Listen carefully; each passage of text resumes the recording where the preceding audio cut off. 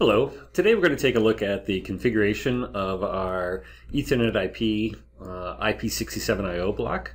Uh, we're going to be using uh, Logix version 21 with a L71 processor and we're going to be using the EDS file to show you just how easy it is to do this configuration. So within the Logix 5000 uh, we need to set up our Ethernet module.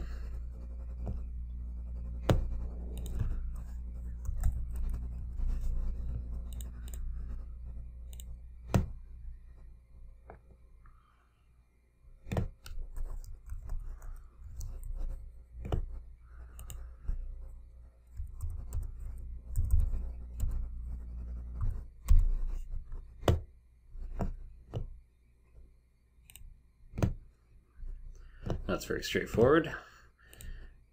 And now what we need to do is go down here and add our I.O. block to the uh, Ethernet IP network.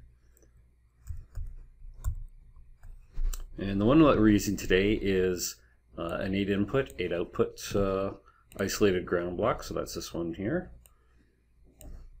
And let's see, create.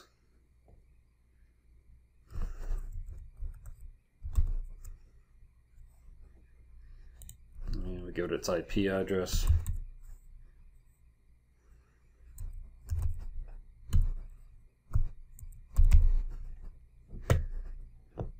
And we say, okay, the, we can take a look at the other uh, uh, the other modules, the other tabs here, but uh, uh everything is fine at the uh, at the defaults. And we close that. And now, once we've added that, of course, we'll have the controller tags available for that that module, uh, the input and the output. If we look in the user's guide, uh, you'll see this is the data mapping for the uh, 8 input, 8 output module. So our uh, input data, there is a total of 8 bytes of input data.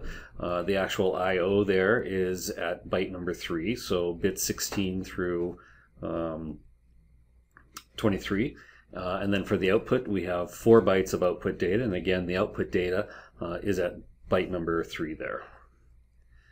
Okay, now we'll go back to the RS Logix 5000 and download the configuration.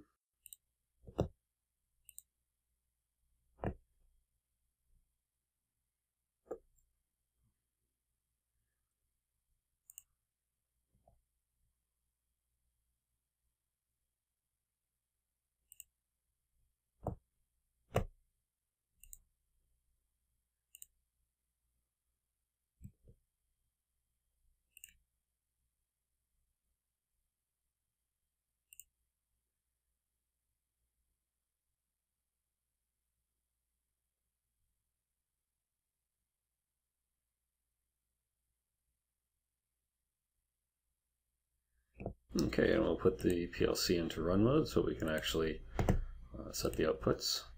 Uh, so the first thing we'll do here, we'll take a look at the inputs. Uh, I have a, a, simple trigger here that I can turn on.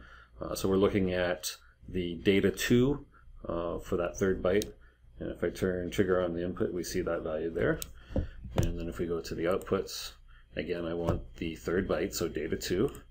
And if I put a value there, and you see the LEDs come on on the output module. So there you have it. That's how we configure our IP67 Ethernet IP block uh, with the EDS file. Uh, very simple, very straightforward, and uh, uh, nice and easy to do. Thank you.